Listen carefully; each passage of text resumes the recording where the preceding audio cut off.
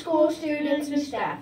Thank you for waking up with WES on Friday, November 17, 2023. Today's news is brought to you by Rudy and Keon and Miss Basil's fourth grade class.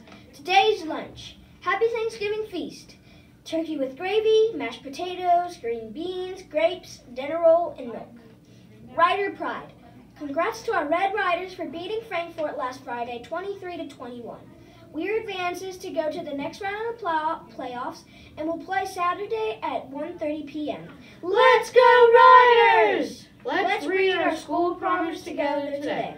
I promise to go to school to listen to my teachers, never give up no matter what, to always do my best, to make good choices for myself, to have fun, to follow the golden rule, and treat others the way you want to be treated, and above all else to finish school. Being thankful. There is always something to be thankful for, but in November, we are extra thankful. What is one thing you are thankful for? Quote of the day. Give thanks for all opportunities that even our struggles bring. Let's stand for the Pledge of Allegiance.